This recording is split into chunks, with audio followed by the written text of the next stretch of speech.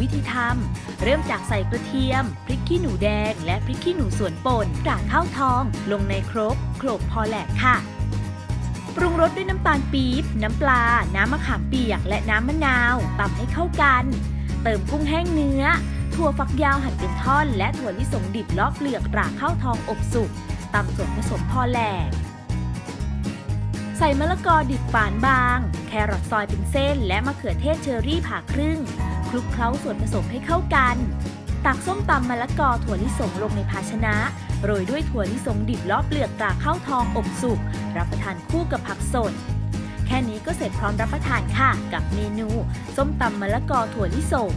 ครั้งหน้าผลิตภัณฑ์ปลาข้าวทอง จะมีเมนูใดมาฝากคุณผู้ชมก็ต้องรอติดตามกันนะคะสำหรับวันนี้สวัสดีค่ะ